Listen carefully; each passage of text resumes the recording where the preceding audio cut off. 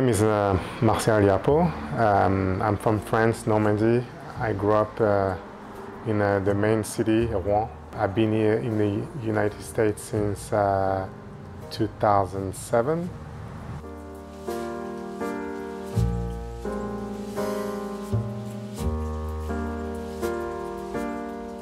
I came up with the idea of creating Black Souls with, um, uh, I wanted to, to, so I like how in, in America we celebrate uh, black art and black culture, but I wanted to be able to, to look at it from a perspective, like, you know, um, I'm obviously not African American, but I'm African French, and then my perspective is um, uh, what is the story uh, of African American before everything that happened? And and I wanted to find like the, the, the, focus point in between the African Americans and the Africans, where I position myself in this story. And, and that's how everything started. The general idea was um, to work into the frame of the American flag. You know, I wanted to uh, uh, kind of like uh, de deconstruct the American flag uh, without disrespecting the flag, just like, you know, to be able to like insert the story uh, in it and replacing the stars of the American flag by those, uh, by those African masks. Each African mask represents different culture and different um, uh, uh, ethnicity because uh, African masks are very important in, um, in uh, animist religion. They all are very powerful and they, they carry uh, uh, different souls or different energy uh, good or bad. And uh, I want and I want to be able to like uh, to uh, to set them up and like recreate them in a way where they all look different. You know, you know you you have some with uh, with some uh, hair, some with dreadlocks, some with like a different hairdos, some with different features. You know, and um, and also it says a lot about like how we, uh, we, we view the different origin of those people. Some from uh, uh, Senegal or some from Ivory Coast or Nigeria don't have the same features in the same religion. And that's what I wanted to be able to like portray by lining them up in the flag. But also like uh, uh, there's the other aspect where I wanted the cases of wood to remind how the enslaved were um, uh, packed in those uh, uh, ships, you know, how they were like lined up, you know, one after another, like animals. And, uh, and that's the reason why we have all of them aligned this way with like those cases um, next to them.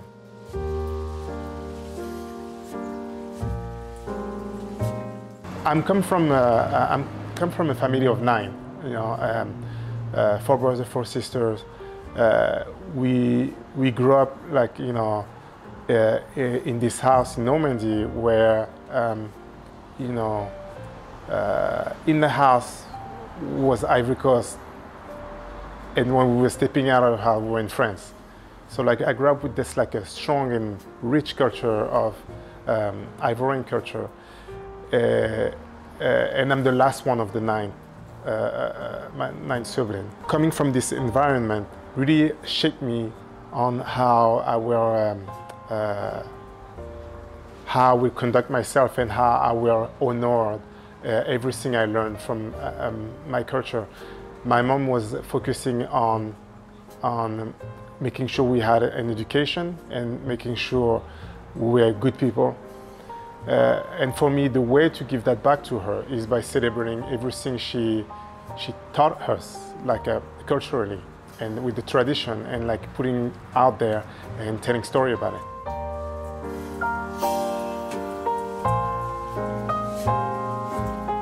My mom always like a, uh, um, um, was very attached to make sure we knew where we were coming from and knowing our family, our grandfather, and like our uncle and aunts. Um, so I was in Ivory Coast a lot. How I get inspired by creating those masks with gas can come from there. because like I was seeing a lot of kids like uh, uh, repurposing things if they're like a, a, a system sustainable like a, a, process on me repurposing things. I think it's coming from that the fact like I was in Ivory Coast and seeing the kids repurposing everything to create something. You know they were like so crafty cleaning cars with the uh, food cans or like uh, bottles and I was totally fascinated. You know I was like um, age nine, seeing those kids running in the street and like, you know, pushing those cars made with wired and uh, using tires to create uh, uh, uh, like smaller tires, and it was just fascinating. And I was just obsessed with like how they were creating that. And that's funny because I feel like, you know, I wasn't realizing what I was seeing and the impact it would have on me later on in my life. Because, um, you know, I never did anything about it. I just like was looking, looking at it and like, you know, obsessing about it. And, and then, uh, and that was it.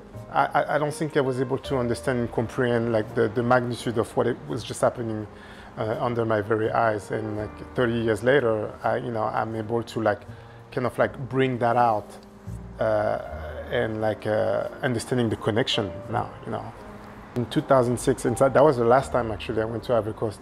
Um, you know, I came, I went there with an, an eye way more open to uh, receiving information and culture, and it was very interesting because uh, uh, people there were kind of like, uh, wait, but like you're not like us. you know, you you're French, and when I, am in France, like you know, they like, but you black. You know, like you know what I mean. And so, uh, and that trip was very uh, uh, was very interesting because it made me realize that I'm the one who decide who I want to be. I cannot wait for people to accept me.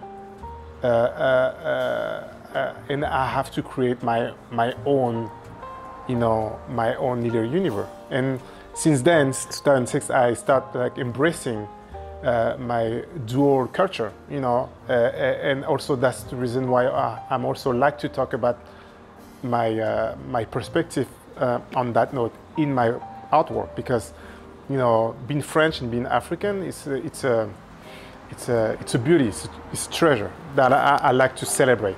Uh, and so, um, uh, yeah, and now it doesn't bother me at all.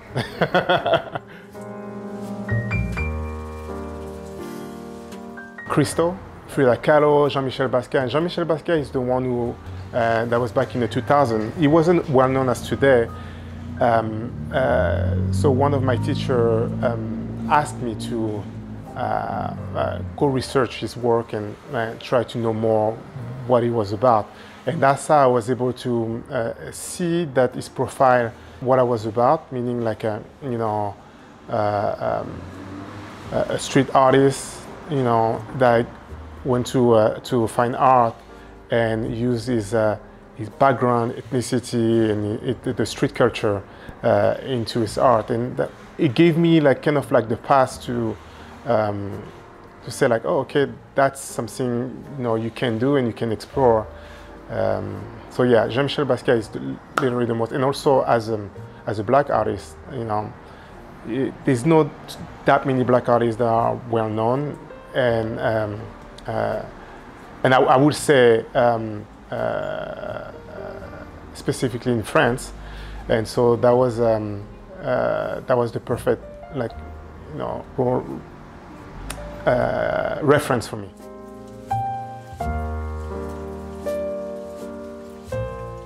I felt like in the US, the black art is celebrated. In France, the black art is ignored and uh, not even considered. The only, the only way black art will be considered in France is the African art, the artifact and all of that, but they're going to reside in museum. And, um, uh, and when you know what the history behind the way the French acquire all this uh, artifact. It, it's, it's, not, it's not put in a, in a, in a, positive light. So definitely the, the, the, the black art is not celebrated in France. from my, my point of view.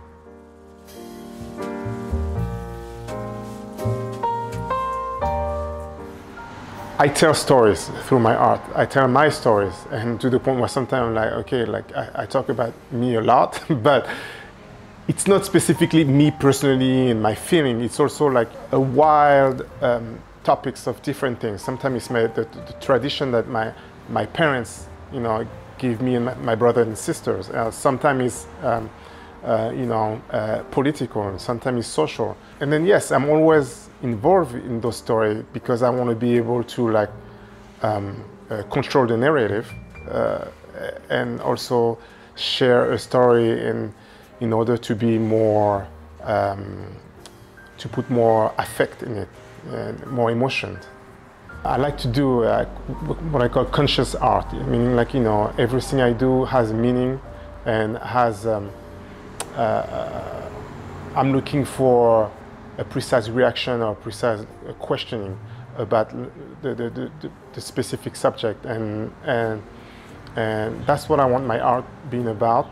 I don't dis disregard the, the aesthetic aspect. I'm trying to combine everything together.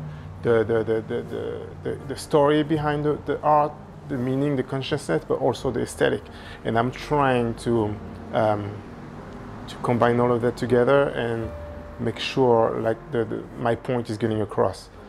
And that's the reason why usually when I, uh, when I do an art show or an exhibit, I like to uh, present my work and talk about it in front of people for them to understand what is my point and what I'm trying to do.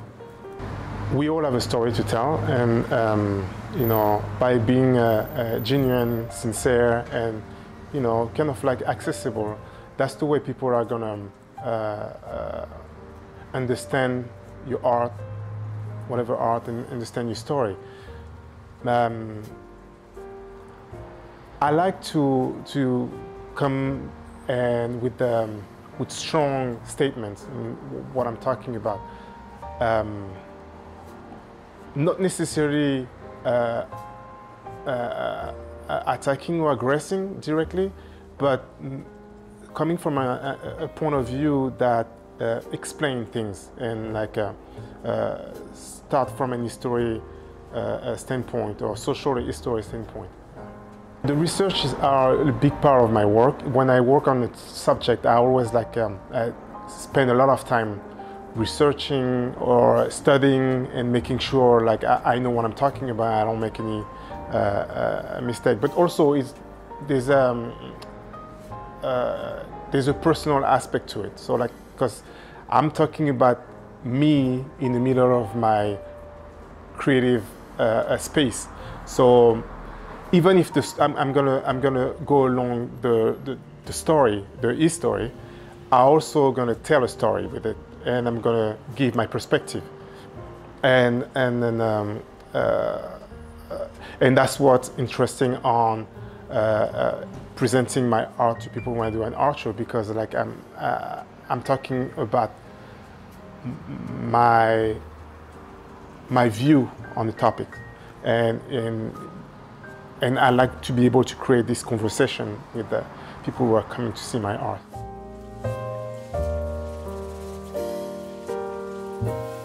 Trying to humanize uh, the subject and like you know put this, um, uh, those lives, uh, you know, uh, they were dismissed uh, and then ignore and put light to it. And you know kind of like uh, kind of like saying like all those people they weren't only Africans they were mothers they were fathers sisters uh, kings queen or uh, you know workers they were people and with traditions and culture. And and I wanted to be able to like you know stop on these like very things and, and, you know kind of like celebrating it.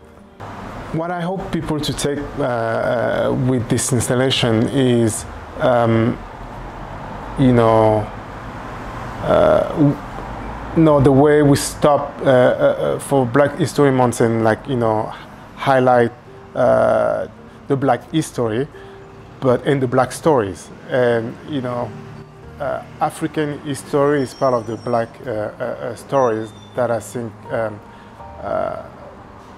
we we never know enough because it, it, it's so large and you know there's so much different layers to to slavery and and all, and all of that and I think like you know be able to to understand that um, the enslaved, you know, from uh, they, they're from a, country with uh, so much culture behind it.